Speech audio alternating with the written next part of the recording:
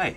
Having completed the story of David uh, in the Philistine territory in 1 Samuel 27 and 29, and then the story of David in chapter 30 when the Amalekites attacked his town of Ziklag and took the women and all their property, and David got them back.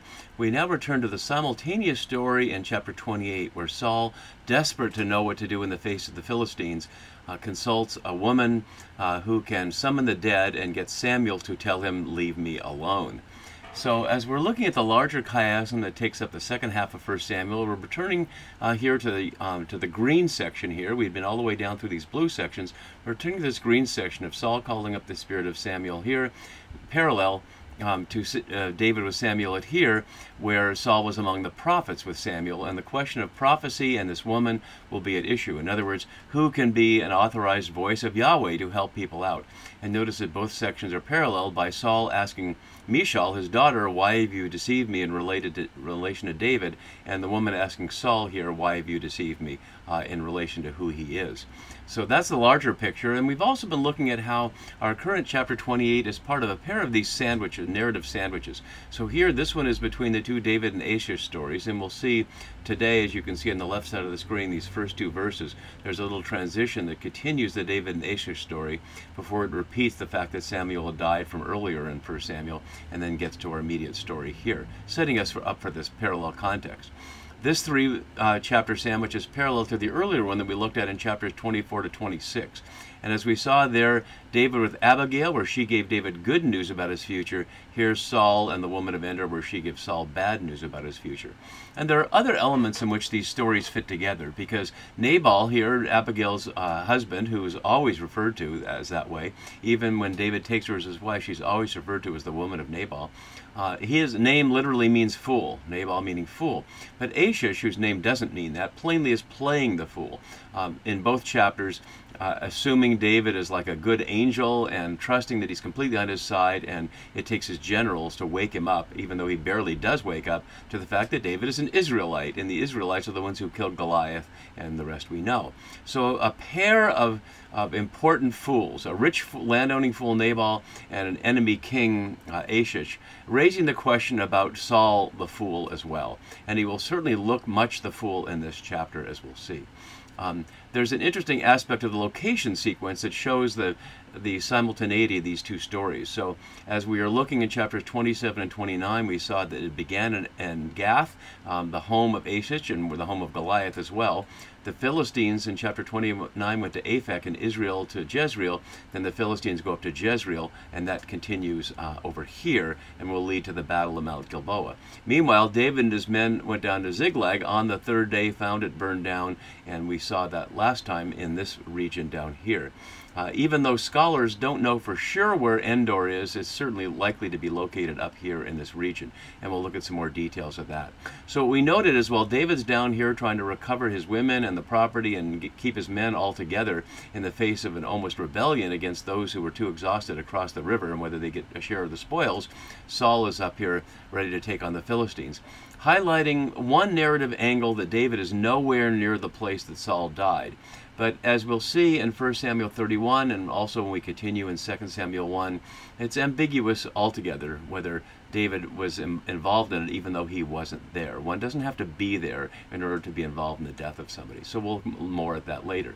But this location sequence is certainly setting up the initial idea that David was innocent of Saul's death. He was nowhere near.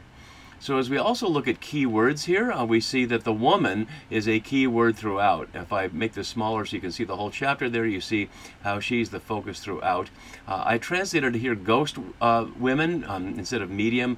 We'll look a little later at the various terms that scholars use to try to refer to her, none of which is right in the sense because there's not a right English word, and there's some cross-cultural issues uh, and assumptions about modern interpreters about what was going on in the story that have been challenged by more recent theories. So we'll be looking at all that not just today but as we go. And then we'll see in the second half of the chapter the question of hands, and we see that so many times here. And finally, as she confronts him with great boldness with the question of who you're listening to. And we know that throughout, Saul has had a problem listening. Yahweh's not listening to him, he's not listening to Yahweh. And in this chapter, Samuel will not listen to Saul either. So let's leave the keywords up there a little larger as, I've been doing with the keywords. I also try to translate sometimes words more consistently. I just noticed I didn't do that here in one that we'll look at, but we'll see that in just a second. So I left up the last verse of chapter 27 so we can see where we were in the narrative sequence here. This is King Achish here being assured in his own mind, this is him talking to himself, that David has made himself utterly abhorrent to his people Israel, therefore he shall be my eternal servant. Um, and uh, the, the narrator notes here at the beginning of chapter 8 that some time has passed. This little phrase, in those days, is only used a few times uh, elsewhere in 1 Samuel. One that's key is 4.1. Let's look at that there. But before we do, let's look at the context here. What's being said is in those days, sometime in the narrator's past, the Philistines gathered their forces for war to fight against Israel. But back here in 4.1 we saw this, and the word of Samuel came to Israel. In those days the Philistines mustered for war against Israel, and Israel went out to battle against them. They encamped at Ebenezer, and the Philistines camped at Aphek, which we see in chapter 29 right here, where the Philistines gathered their forces at Aphek, where the Israelites are in Jezreel. So there's certainly an echo there of that, and this is bringing up the fact that Saul uh, has been fighting with the Philistines, or Israel's been fighting with the Philistines throughout this entire book. So after that narrator's introduction, uh, and the Philistines gathered their forces for war, uh, machane, twice in the verse here, usually as camp, but as forces here, to fight against Israel. Achish said to David, You know, of course, that you and your men are to go out with me in the army, stating something that we already know, so that's not adding anything to the story exactly, but this does. David said to Achish, Very well, or uh, in Hebrew, ken, thus, uh, as the Brown Driver Briggs lexicon notes, it's an idiom in conversation to reply to an objection, to state the ground upon which an answer is made. Therefore, this being so. So suggesting there's some objection there, uh, or maybe it's implying that David knows that the Philistines are going to be doubtful of that. So he says, "Then you shall know what very well. Then you shall know what your servant can do." Uh, and as Bodner notes below, on the one hand, David's words can be construed as a pledge of allegiance to Achish and his cause.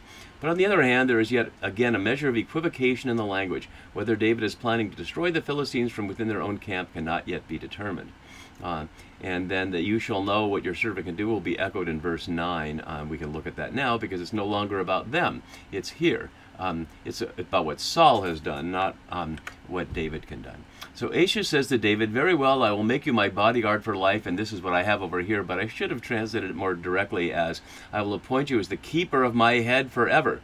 Because we already saw later in chapter 29, the generals had said um, that David being with them will end up with them being decapitated, with their heads cut off. Uh, so uh, there's a little play here in 28 too, and what we'll see in 29. So with those two verses, we're done with the David and Philistine story, and then we get this repeat here from chapter 25, almost verbatim. Um, as Tsumura notes below, the present episode is out of place chronologically, and that's what I've been noting uh, all along here, that this is simultaneous. So I'm suggesting that this repetition of what we see in 25.1, let's look how similar it is. Samuel had died, and all Israel had mourned for him and buried him in Ramah, his own city, up to that far. And then we see in 25.1, Samuel died, all Israel assembled and mourned for him. They buried him in his home in Ramah. And then it goes to David. So this is simply a repetition, and chronologically it's obviously happened earlier. But it's highlighting the fact for now that the dead Samuel is going to be the issue. And it's also highlighting a couple of other things. That the source that Saul has had for his intermediary relationship with Yahweh is gone. It also, by calling up um, the echo in chapter 25, reminds us of the Nabal story uh, and contrasting uh, Nabal the fool with Saul the fool here. So we're told that Saul had expelled the mediums and the wizards from the land. And this is one of those interpretive moments where more, more recent scholars, especially women scholars, have recognized how older scholars have made an enormous number of presuppositions about this. And I don't want to go through the whole history of scholarship because that would take a long time. But it's important that we can at least clear our heads from the false understandings. Um, one of those is that he's doing this in response to the language from uh, Leviticus and Deuteronomy that I can put up here that makes that illegal. So we see here from Leviticus, do not turn to mediums or wizards, do not seek them out to be defiled by them. I am Yahweh your God. And in the next chapter, if any turn to mediums and wizards, prostituting themselves to them, I will set my face against them, etc and then even more harshly from Deuteronomy, not using that same phrase, mediums and wizards, but clearly making the same point. When you come into the land that Yahweh your God is giving you, you must not learn to imitate the abhorrent practices of those nations. And just skipping to the important part here, anyone who practices divination, or is a soothsayer, or an augur, or a sorcerer, or one who casts spells, or consults ghosts or spirits, or who seeks oracles from the dead. For whoever does these things is abhorrent to Yahweh. Notice they're named as foreign practices, and it's the interpretation through Leviticus and Deuteronomy that this was a long a law against this, and the Deuteronomy attributes it to foreign practices that many scholars assume is the truth about our story. But there's absolutely no basis for assuming that whatsoever. Um, Deuteronomy, uh, as we know, the main part of it is from the 7th century, from the time of Josiah, and that will be important here. In fact, I can return to this here, and we see the final example of mediums and wizards um, in the Bible, which is at the very end almost of the Deuteronomistic history, is Josiah putting away the mediums, wizards, teraphims, and idols. So, from the perspective of the Deuteronomistic history, starting with Deuteronomy and ending with Second Kings, uh, this is certainly abhorrent. But First Samuel is not necessarily reflecting that ending argument. It may well be part of a different argument um, about monarchy, as we've been looking at in these chapters. And if you want to see more about that, I'd encourage you to go back to the introductory video for this unit on 1 Samuel 27 to 31. But as more recent scholars have said, reading the text on its own terms expresses no negativity about the woman of Endor at all. Um, this is just Saul's act. And we know that just because Saul did something doesn't mean it has divine approval. Um, for example, we note the contrast that we looked at in our very last video. Let's look at it here from 1 Samuel 30, where David decided to share, to make the spoils be shared among everybody. And the narrator said, from that day forward, he made it a statute and an ordinance for Israel. It continues to the present day. But we see nothing about that here that Saul has made this uh, a statute. It is a statute in Leviticus, and it's referred to indirectly in Deuteronomy, but there's no sense that that's what Saul is doing here. Um, and the text doesn't suggest that it's illegal at all. It just says that he's done this. And having done it, he's going to call on them.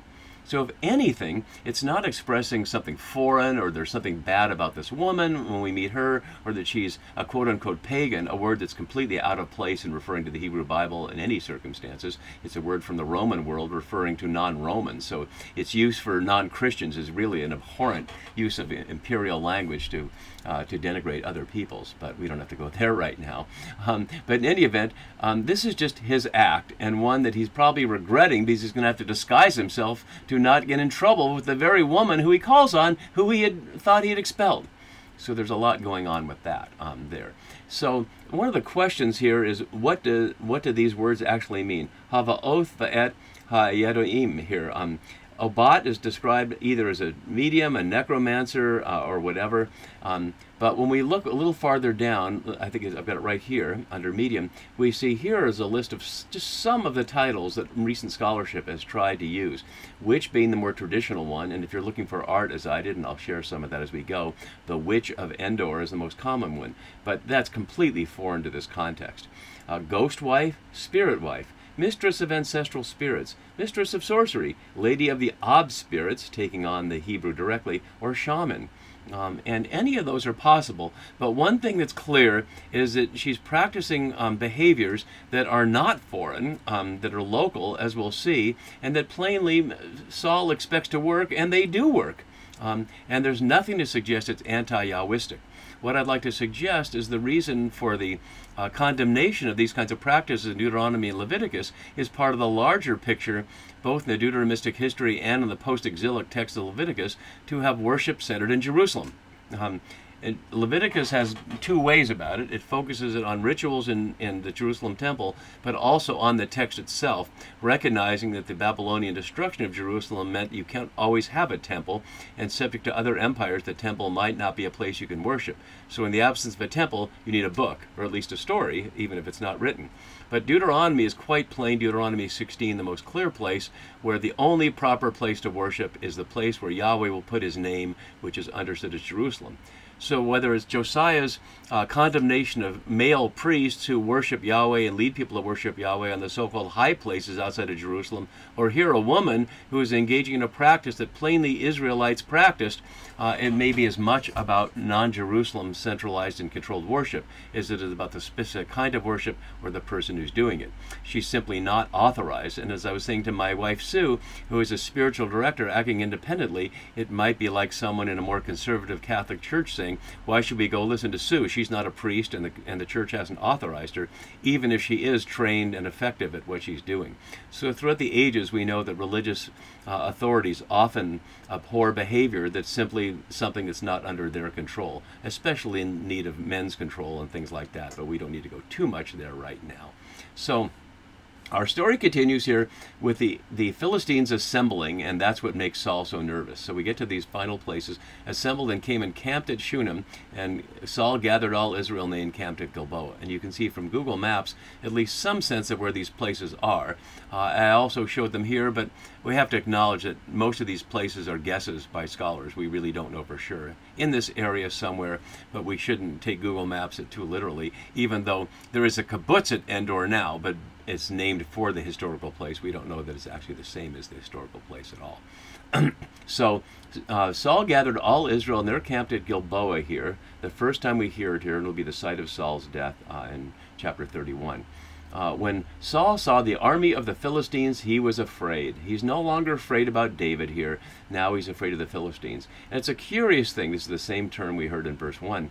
Um, he's been fighting the Philistines since the beginning. He was chosen to to fight against the Philistines. Uh, he obviously picked David to fight against Goliath, but he's been fighting against the Philistines sometimes successfully and sometimes less so. But why is he so afraid now that his heart trembled greatly? Which is a very strong term here. We've heard it a few times earlier. I won't go back to all the places.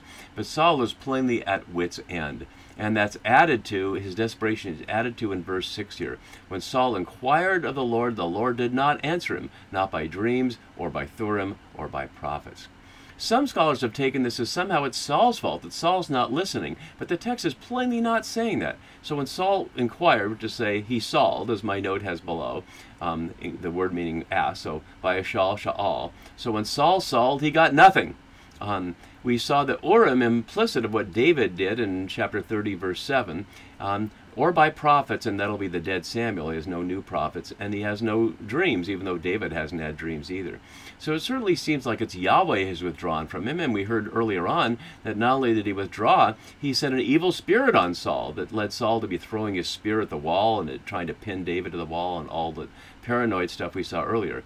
Saul doesn't seem so paranoid now. He just seems terrified of the Philistines. And it's going to get worse after this chapter. So we'll go one more verse for today, and verse 7 here, and we hear the scholar Michael argues at length that the scene is a parody of the call story in, in chapter 9. And he notes the parallel with Josiah in the opposite direction. And we'll be looking at that because a number of other scholars have noted the parallel between this woman of Endor, who's a many scholars condemn, and Huldah, the woman who King Josiah um, uh, listens to, who's described as a prophet who's never condemned. And they're basically doing the same thing. So it's more based on the assumption of male scholars about the title than it is about anything the text actually says. And it's also about the character of Saul, who is plainly rejected here, and the character of Josiah, who's described as no king before or after Josiah was as great as him. So he's the ultimate hero of the Deuteronomistic history, not David, curiously. So, seek out for me, or literally, as Tsumura says, search for me a woman who serves the Lady of the Ob Spirits or the Mistress of Sorcery, and we're seeing those various titles there. Notice he's asking for a woman. Why is he asking for a woman in particular? And no scholar has an answer to that. There's nothing to think that, that medium is a woman's role and wizard is a male's role. Well, if you watch a lot of Harry Potter, maybe you'd want to go that way, or maybe it's Lord of the Rings. I don't know. I'm not so into the Lord of the Rings as maybe you are. Um, so if you know about that, you can put a note in the comments if you like. But he assumes a woman who is a medium. And notice he assumes you can find one, even though he's officially expelled them, so that I may go to her and ask of her, or seek of her. Here, it's not ask here, it's seek. So seek twice in the verse. Um, he's going to seek of her. And his servant said to him, There's a medium at Endor. Notice, um, as Hamori notes, this may well be a humorous depiction of a court scene. His servants know just where to go. And notice they don't object at all. They don't say, Wait a minute, didn't you expel the mediums and the wizards? Um, or, That's illegal. Where would we find one? We would certainly would know where one was. But they know immediately where one is. And there's notice the narrator doesn't say anything here. There's no sense of any objection to this. There's a medium at Endor. And Tsumura notes, perhaps overstating it, modern Khirbet as Safe Safe, um, northeast of Shunem, where the Phillies were encamped, but actually um, scholars have suggested they really don't know, although Miller suggests it, this location would be chosen for its nearness, nearness to Mount Tabor, a worship place. Um, uh, Susie Park, a Korean American scholar who offers an interesting insight from her mother's experience of being raised in a conservative Korean Presbyterian church, but also continuing to practice things like astrology, will note that what's going on here in terms of Israelites um, going to a medium is not that different than her conservative Christian mother listening to astrology. The question here is the meaning of the term Endor, and N is just a contraction of Ein um, for Ayin, for I, or spring, and it can mean either dwelling or it can mean generations. So she suggests um, down here, after my note about it, familiar with her father, that it could mean the spring and dwelling place of the generations, which is to say, a place of ancestor gathering, if not ancestor worship. There's no sense that Samuel is going to be worshipped in this scene, and there's no sense that she's calling people up so people can worship them. Uh, it's simply a perhaps a place understood as associated with the ancestors. So, having heard, being told there is such a woman, Saul will take off his royal robes, no longer being a king, of course, and go see if this woman can help him. And we'll see what happens there next time. See you then. Bye bye.